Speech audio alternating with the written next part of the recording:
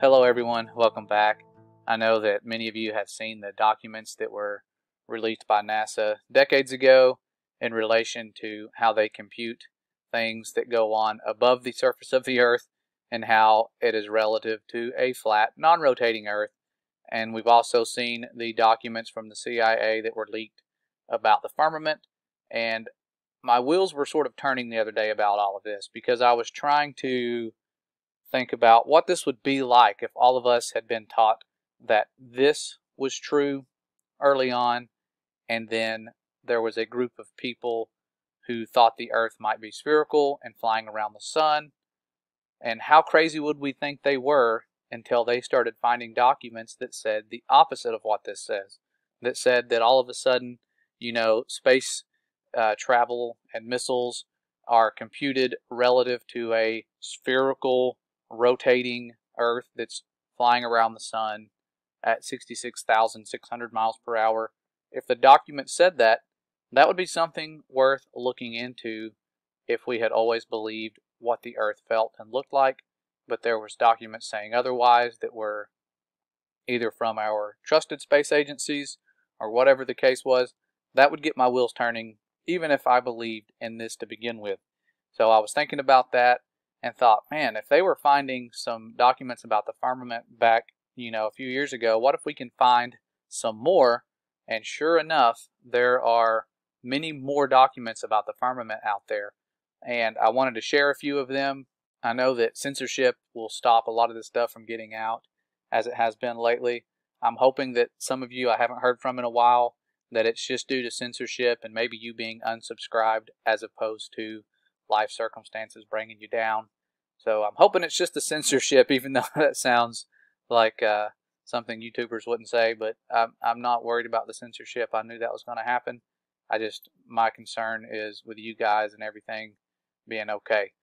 Now, uh, as I was going through these documents, you always find weird stuff. I didn't sit there and read real slowly. I kind of skimmed through them, so you may find more things than I did if you start looking but these are all searchable. I'll show you. I'll leave a link in the description of the website. You can search for this stuff in.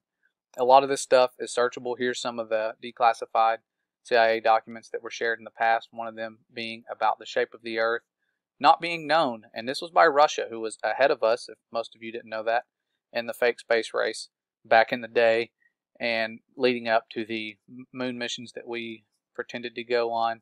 They were ahead of us. And now I found it weird that they did not know the shape of the Earth back in 49 when they were allegedly sending people into orbit and doing things right after that. I know a lot of you thought that was strange as well, but just to summarize some of the things they were saying in those declassified documents about the firmament, we looked at things where they were testing the brightness of the firmament and the daytime sky and measuring these things as well as looking at the brightness along the certain parts of the sun and five to six points of the firmament located at various zenith distances. So they are looking at the distances of the firmament from the sun. Thought that was kind of kind of cool that they are trying to figure this stuff out way back when. And they're talking about the assumptions of this right here that we can't say without getting our videos censored or having that Wikipedia article show up underneath them that gives a bunch of lies. It'll probably show up down there anyways, since I mentioned the firmament.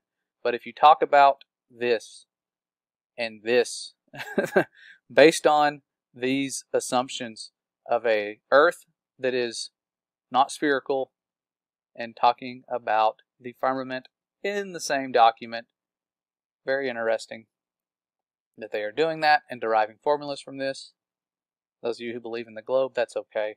Just know that the people who are doing formulas for space travel and experiments were looking into those assumptions and saying they have to assume that because otherwise they would be completely off with their calculations.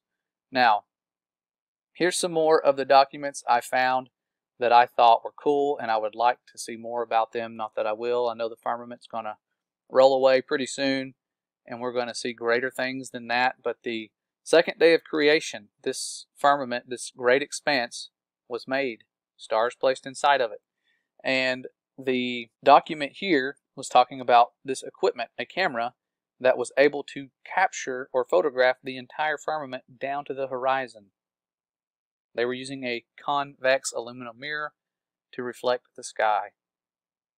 So very cool that they were trying to capture the entire firmament down to the horizon and publishing these works. Maybe more people knew about it than we thought back then. So uh, lots of experiments regarding that.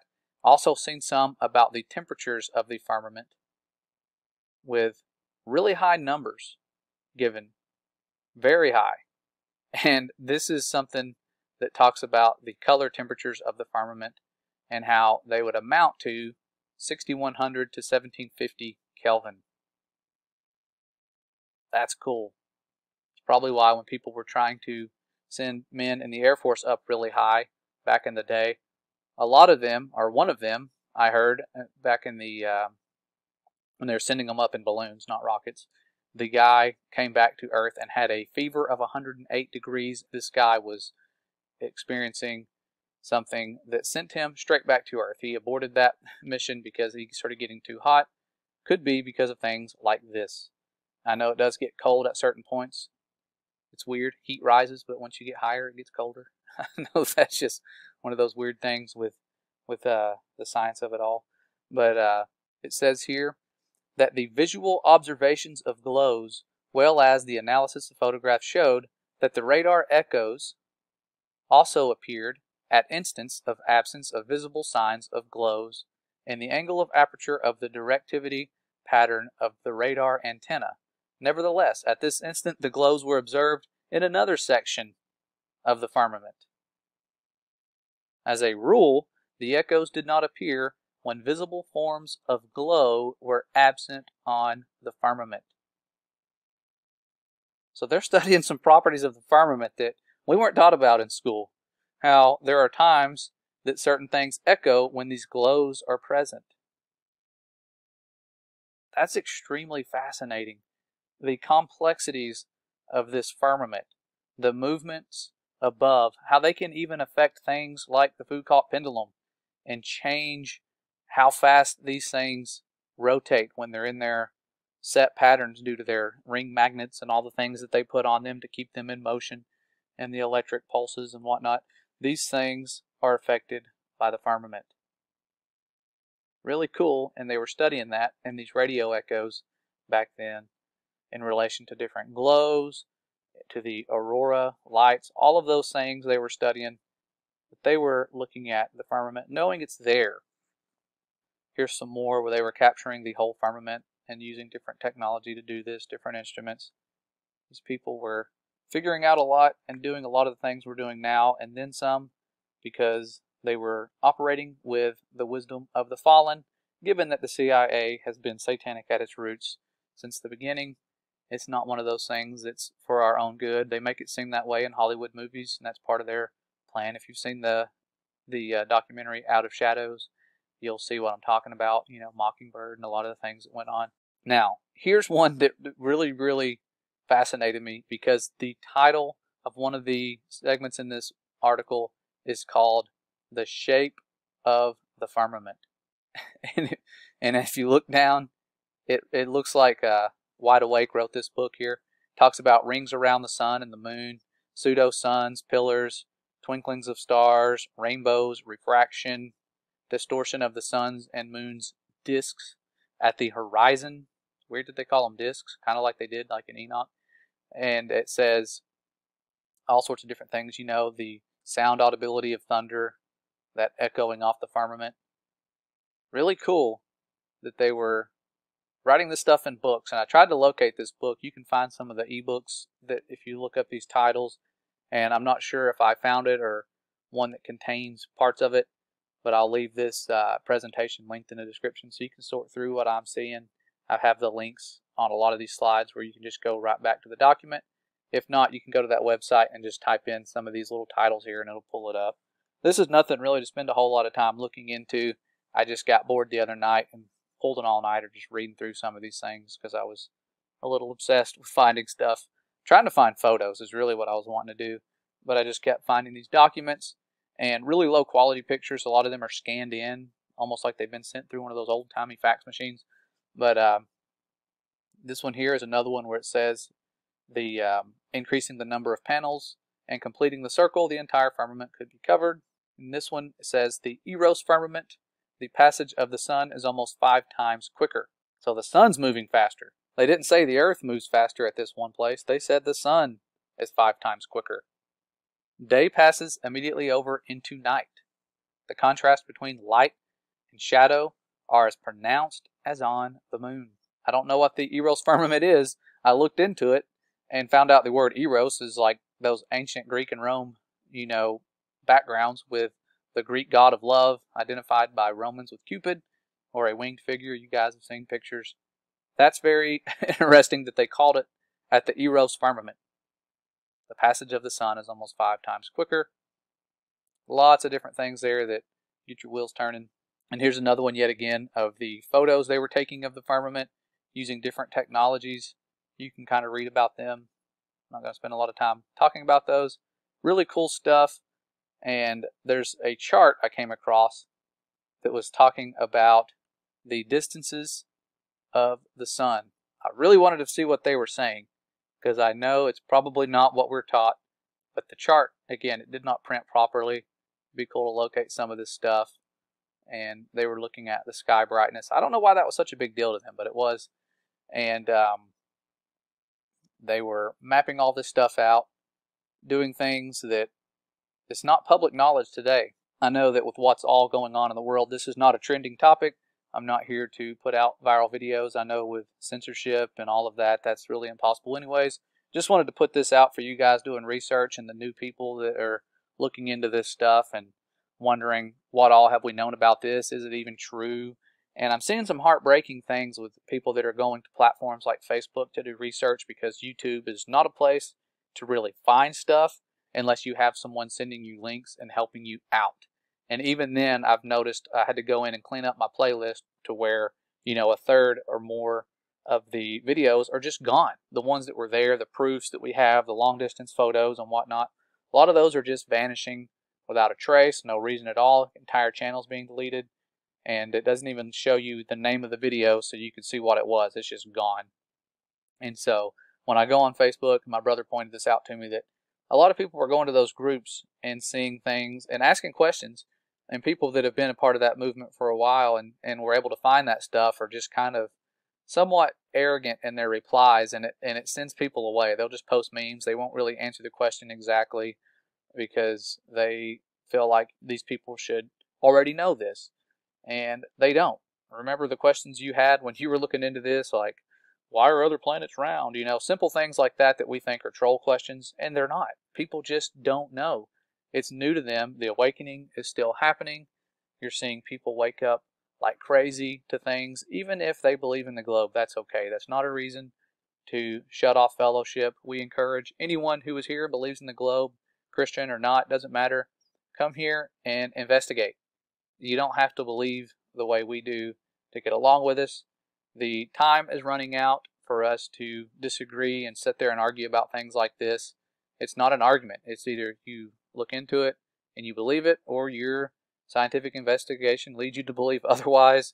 It's it's not a reason to uh, throw away fellowship opportunities.